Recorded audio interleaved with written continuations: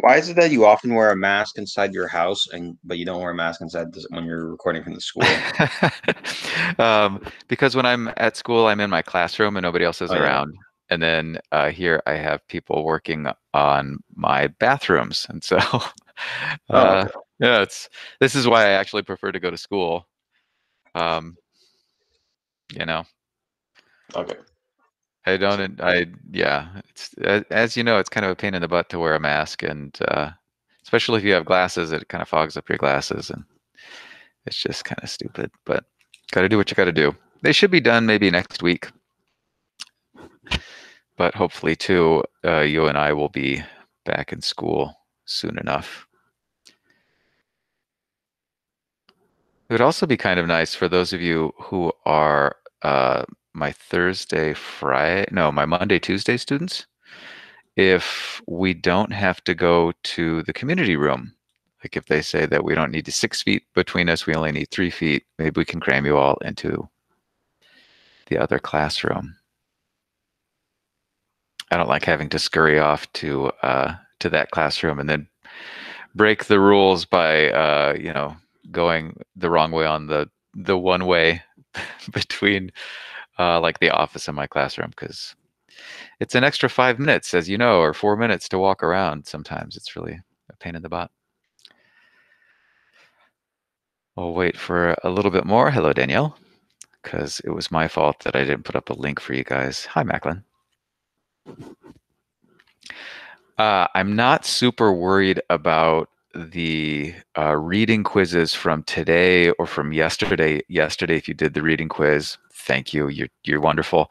Uh, it, it was about the the rule or the reign of Napoleon III. Um, maybe I'll talk about that tomorrow, and then um, we'll push off what I really like to talk about, which is the unification of uh, of the German states and the unification of the Italian states until semester two and uh, and so tomorrow we'll get together. We'll talk a little bit about NAP three, Napoleon Third, um, I think, and then uh, and then we will, um, you know, we'll have the the final exam or the the LEQ on uh, on Tuesday. I forgot uh, that we don't have school on Monday, so today I just wanted to talk about the LEQ. Just go over it one more time, answer any questions you have, um, and uh, and stuff like that. So feel free to um, to ask if you if you got something that you uh, you know that you want to talk about or ask about. Uh, I, I really uh, appreciate questions from you, and I really, really, really want you to do your absolute best on this LEQ. I want you to get a lot of points for it and to see everybody's grades get boosted up. Got a very similar, um, very generous grading scale, but as you know, it's kind of hard to get the points. And so, uh, you know, a, a, th- a, three out of six is fantastic, but um, but but we want you know i think all of us want to be in the a range fours and fives and sixes. So hopefully we can get there. I'm not sure if the dbq or if the leq is easier than the dbq or or vice versa. Um, it's kind of pers- pers- personal preference sort of thing i think. But let me go ahead and share my screen. I'm not going to show you anything that you haven't already seen before but um, i do just want to give you the chance to ask some questions again I think we've looked at, uh, let me see what I got here. Let's see. In AP Euro, we've got everything that we need down here in Schoology. And so the LEQ organization, we'll look at that uh, really quickly one more time.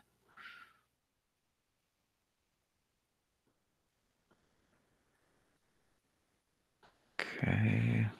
So once again, there's three different kinds of essays. You got your compare and contrast.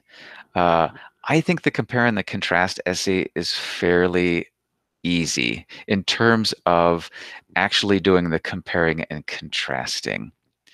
Uh, one of the ways that you get a point is by doing what it's asking you to do. And so by comparing and contrasting, showing what's similar and what's different, both in the thesis and then also in, in the body paragraphs, is a, a way of you getting a point. You know, it might seem like, well, why wouldn't I do that in an essay that's a compare and contrast essay? But sometimes people just talk about stuff and don't, you know, set it up as a compare and contrast. I'm really looking for that when I'm trying to give you uh, a grade for that. I think the causation essay is is in like in a weird way the most difficult one because if you're talking about, for example, the printing press and and the printing press causing things or the printing press having some sort of effect, you really have to show me, I think, um, you know, you have to make a, a, a statement about how the printing press did cause the Reformation or how it did it did contribute to uh, the Renaissance or how it, it contributed to the Enlightenment or whatever. You really have to be pretty specific about that. So hopefully, uh, if you get a causation essay, um, you, you don't just say the printing press was invented and then you talk all about the Renaissance without making that connection. And then the change in continuity over time essay is um, I, I think it's it's fairly easy. One of the things that you're talking about in one of your paragraphs and one part of your your thesis is really about how things don't change over a period of 200 years or 300 years. And then the other thing is how they did change. And you can you can you know look at that any way that you want to. It has to be over a fairly long period of time though. I think it has to be at least 100 years and then then you're telling me how things were in the beginning you know and then how things uh, were in the middle and how things were in the end in a sense you're just telling me how things change over time whatever that looks like whatever you think it is just make sure that you're being pretty specific about how things change from beginning to the end of a longer period of time i don't think you can get you know 20 years and, and think that there's continuity and change in a 20 year period. I think it's just too short. So if you're given and, and maybe we should do that if you're given um, a, a period of time to look at try to use that whole period of time or as much of it as possible. So let's look at the uh, what do we got here? Let's look at the leq prompts and then we'll go we'll go backwards. I hope that doesn't bother you too much. So here we've got some um, some changes and some uh, and some some some, some uh, continuities uh, over a longer period of time. We got 1515 to 1815, 1700 to 1815, 1515 to 1815, and 1515 to 1815. So a 300 year period of time for the most part. And then if you look at Renaissance, what would that be like 1400 through the Enlightenment?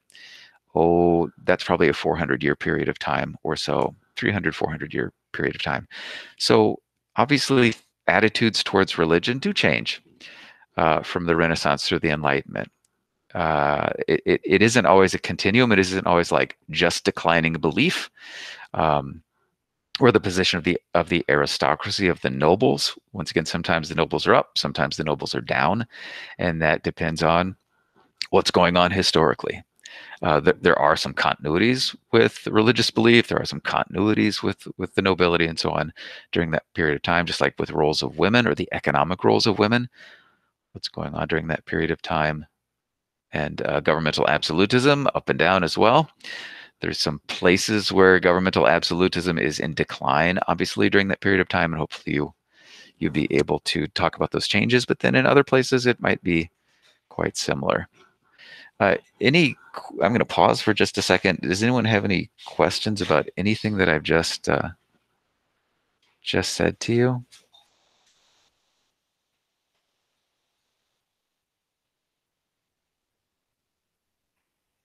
Okay. The um, the cause and effect essays. You know, once again, you really have to look at what that religious conflict is, and then and then how it's affecting European society in some way, shape, or form printing press leading to some changes, Atlantic trade leading to some changes, new political philosophies. Hopefully, you know of a new political philosophy between 1615 and 1815 and how it's leading to changes in political rights. Uh, by the way, that one kind of reminds me there is a cutoff. It's 1815. So don't tell me about the you know 1832 British reform uh, reform bill that let more people um, you know vote the great reform bill of 1832 or the chartists or anything like that because that's out of time so don't do that Also, understanding what the question is about is really pretty important. Uh, th this one here, this is kind of like the uh, the group of um, similarities and differences. This art and the the Renaissance art and the Baroque art uh, question. The reason that I underlined subject matter is because people were telling me oftentimes when I used to give this in the past, people would tell me what the paintings looked like you know, they would tell me it was more lifelike, and they would tell me that um, that there was uh, perspective and things like that. But the question is really about the subject matter of Renaissance art and Baroque art, and in some ways they're similar, and in some ways they're different. And so hopefully you could come up with an argument that uh, that could talk about that. Maybe find something that that they have that is that uh, that makes them the same or very similar, and then something that that uh, shoots off in different directions pausing for a moment for any of those things? Okay.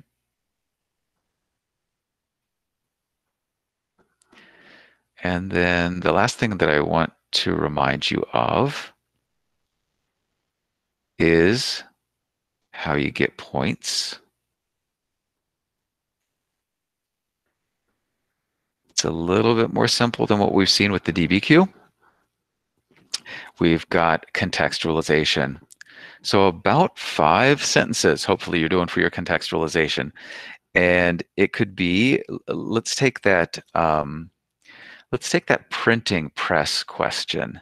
You know, what, what did the printing press lead to basically is that five sentences about um, you know, how the printing press came together, how it was created, why it was created, uh, the need for it, you know, literate public or whatever um, anything that you can think of that that starts off big and then starts to kind of um, funnel down to a smaller smaller smaller topic until you get to your thesis statement you know your thesis statement is the printing press contributed to or caused or whatever this historical thing and that historical thing. And then and then you'd be done. Um, also I, I am trying not to give you answers uh, already but like this historical thing or that historical thing could also be your contextualization. So what, what the heck i'll just talk about this. Let's say that you decided that the printing press is a main contributor to the enlightenment then your contextualization could be five sentences all about the enlightenment if that makes sense to you pausing for just a moment for contextualization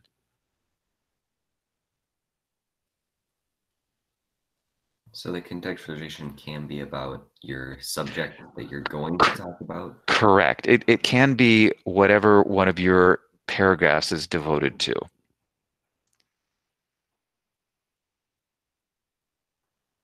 Hopefully that makes sense to all of you.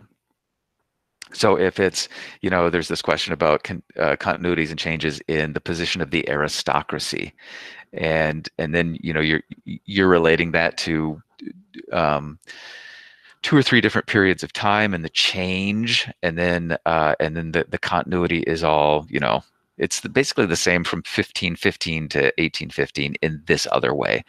Uh, you could in in general terms talk about feudalism I think. You know, how did the aristocracy become the aristocracy with five sentences? Or whatever you decided those changes were um, in, in the position of the aristocracy, you could talk about those things in your contextualization first to just kind of set things up. As long as it's related to your thesis, I think your contextualization is going to be um, is going to be uh, a chance at having it be, be point worthy. And then once again, it's about five sentences. Those sentences hopefully um, uh, are, are sort of seamlessly woven together. It doesn't seem like five different facts. It seems like you're telling me, you know, um, one sentence leads to the next sentence anyway, to, and then you then you finally get to your thesis. So that's going to be worth a point. I'll just look at that and be like, oh yeah, five sentences. It looks good. It's an approximation. Um, you know, you told me whatever whatever it was, and it seemed like it was broad enough to um, to get you that contextualization point. Your thesis, uh, you know, you're being very specific in your thesis about whatever the prompt is you know you're telling me how things stayed the same and th- things how things changed for whatever or you're telling me how this thing led to something that led to this thing and this other thing or you're talking about how you know i don't know um, british uh, political developments were similar to French de- developments in this way, but they're different in some some other way. You're being very specific, uh, and and that's the last thing that you're writing to me in that first paragraph. Questions about that?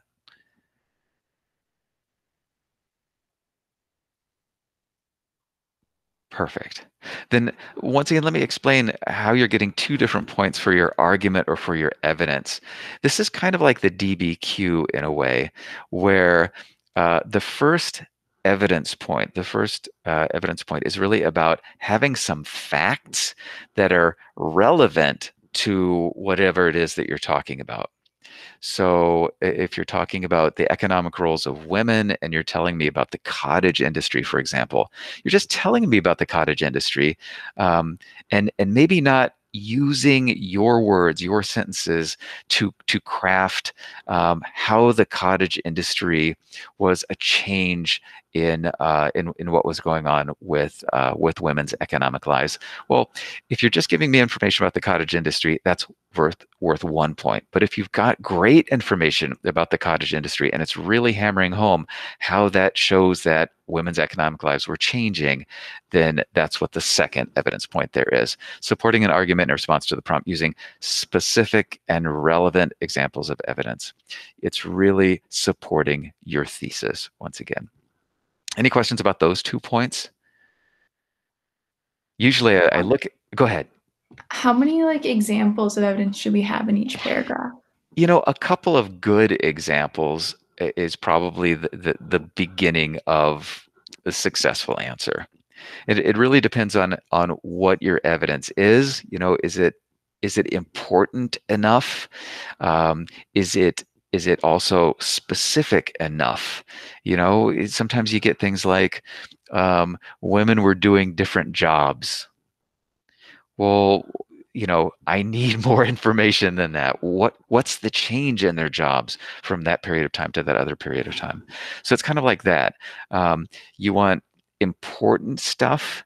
Um, for, let me just I'll give you an example of that. Let's just say you you you went off on a tangent on prostitution for some reason and uh, and and th- that might be um, something that some group of women were doing, but it isn't you know it isn't the same as cottage industry, if that makes sense to you. Uh, it's it's a small bit of of information that only applies to some women. Cottage industry is larger than that, or w- whatever other thing that you, you can come up with. So has to be both uh, both significant but then also specific. And then once again, that that second uh, that second inf- that second fact point or evidence point is really about just really good uh, good evidence that fits your argument. I'm pausing. good there, everybody? Okay. Once again, you also get one point if you are doing what uh, what the prompt asks you to do, whether it be compare these things or or talk about the cause or talk about how things changed and and uh, and remained the same. It would be really it, it's really nice to see that, of course, in your uh, in your thesis. You know, these things were the same, but these things were different, or this thing caused this other thing by, or this changed, but at the same time, this um, this remained the same in your thesis, but then also in the body body body paragraphs as well. Hopefully, every single first uh, body paragraph is just a restatement of what you're going to be talking about. You know, this is the way that uh, religious belief changed over that 300 or 400 year year period of time. And then different changes. You know, in the beginning it did this, in the middle it did this, towards the end it did that. If I'm if I if I find that in the essay, if I see that you're doing the comparison or the causation or the CCOT, then I'm more than happy to give you a point for that. The last little bit is is kind of like that seventh point for the DBQ. Um, it, it, this is kind of a, a, a joke among uh, AP teachers in the sense that nobody's really sure how to give this point, but it is it's essentially a good essay in some way, shape, or form. You got great evidence, or uh, you're really doing the the comparison well, or you're doing how you know there's this real balanced. Um, you're showing me great evidence about how things change, but you're showing me great evidence about how things stay the same. Um, maybe you're looking at this in, in kind of a different way, or kind of a, a really cool, thoughtful way, or analytical way that would be worth that sixth point. But I would say um, just do your best to write a really good essay. And if the sixth point, sixth point comes to you, fantastic. Shoot for the other five points, and if you get those, um, a sixth point might be, you know, on its way too. Six points. I don't have the uh, the scale in front of me, but I promise you that it is really quite generous, just like the DBQ scale was. All right questions for me.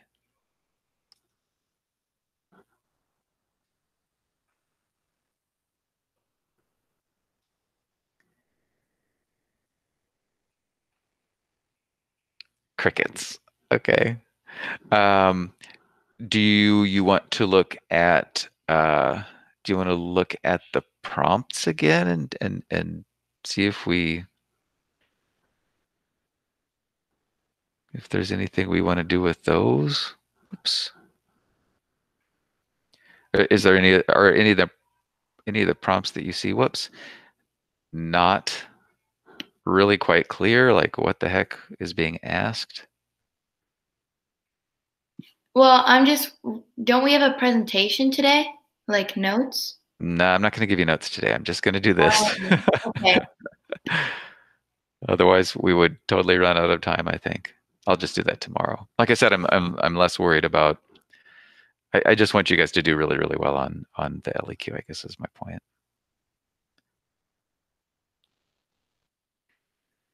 Are we gonna have to be on a Google Meet while we do the LEQ? Uh, I think we will get together, and uh, and then I will start the 40 minutes, and then so you don't have to be on the Google Meet uh, for those 40 minutes, but but I will start at a very specific time, give you the two prompts, and then say you now have 40 minutes, and then I'm gonna you know, oh, I'm gonna expect that you turn in the the your work after those 40 minutes. So I think we should just touch it, touch base, um, and then get you started, and then and then go from there. Okay. But yeah, I, am not I'm not super interested in all of you, you know. Um, I don't know staying in the Google Meet or whatever. Uh, I'll I'll be available to you if you if you need me for something. You know, if you want to check something with me or whatever, that that's that's my job, and so I'll just hang out, and you guys can pop in and, and say. Now, what was well? You can't ask me like fat questions. Now, tell me about the Protestant Reformation again, Mr. Baron. But um, or how would you answer? Uh, how would you answer that, Mr. Baron? But you know, questions like, um, I don't know, whatever uh, contextualization is, or, or you know, I don't know. I'm just gonna be around so so you can ask me questions.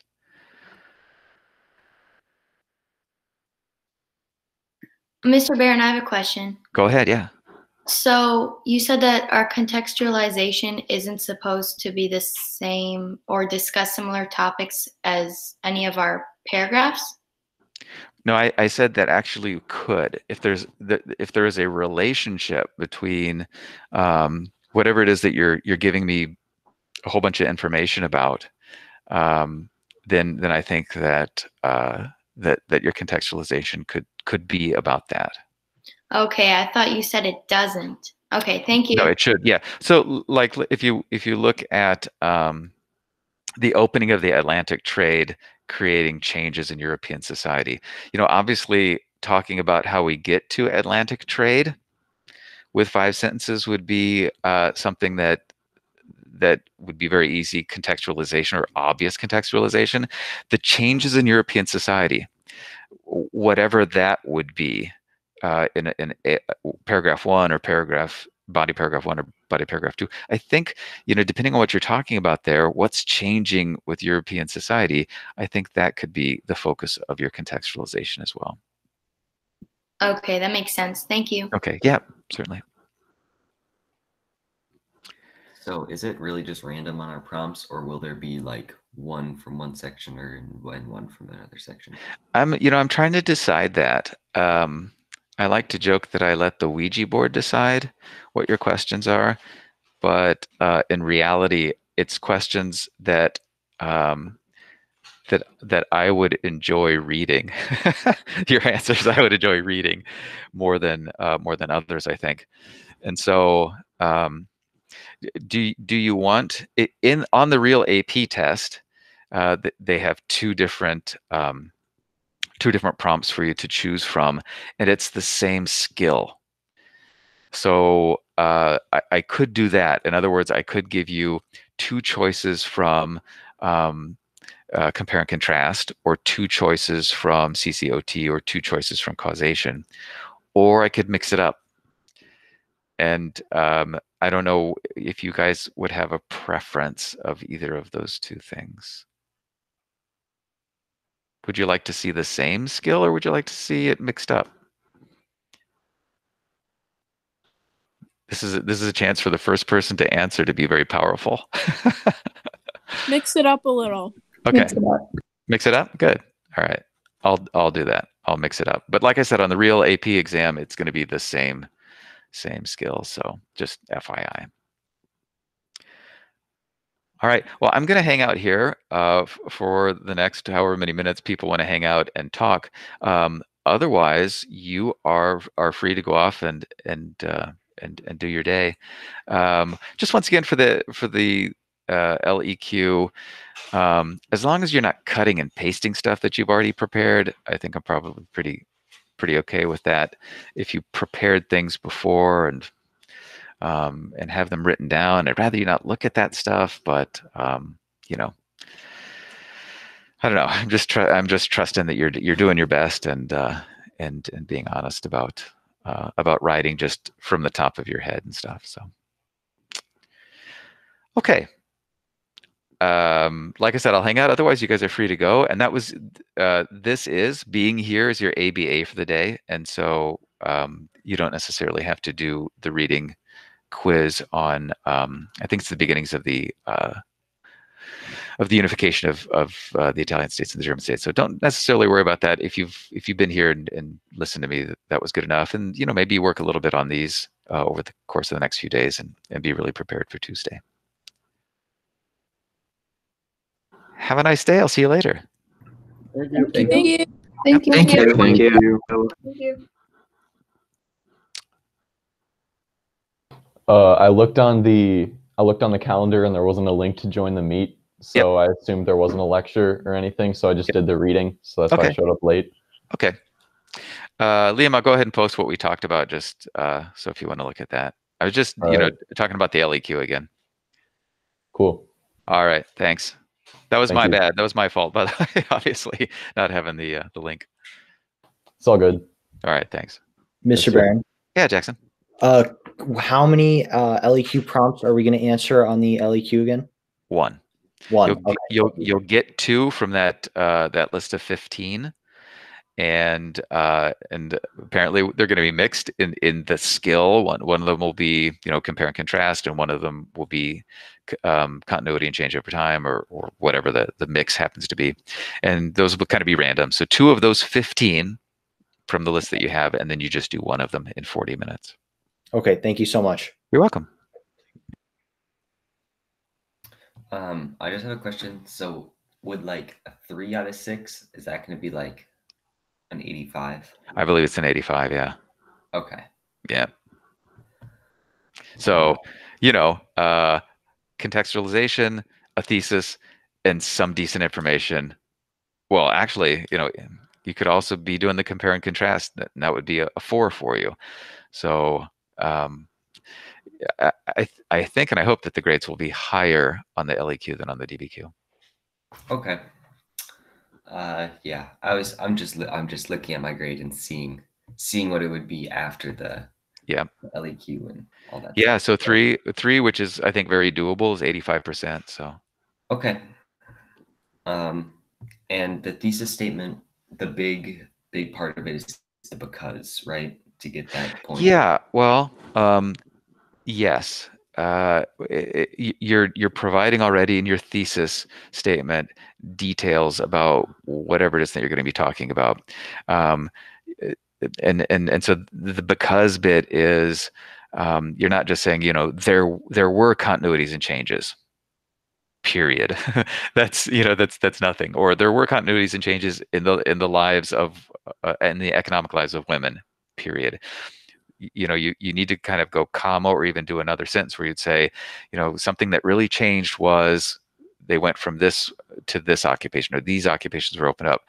And then you know at the same time however um, women con- continually through this period of time did this thing this other thing as as their economic the, the way that they made a living or whatever so it's just a little bit extra information so that i know where you're going with that Yeah. So it's the they made continuity and changes because blank. yes this is the continuity and this is the change And then those and then that's what you do for your evidence. Exactly. And that's what you got in your paragraphs. Just providing then the details of the change and the details of the continuity. But I think you can figure out which one's going to be much longer Uh yeah. the continuity or the change. Um the uh the change. Yeah, that's uh, like history is when we study history, we study the stuff that changes, right? That's that's the interesting stuff. And then there's this background stuff that we we don't talk about cuz nothing's happening. You know, it's just the same old same old. Yeah. Okay. Good. All right, Tim. Okay. Well thank you. Thank you. Have a great day.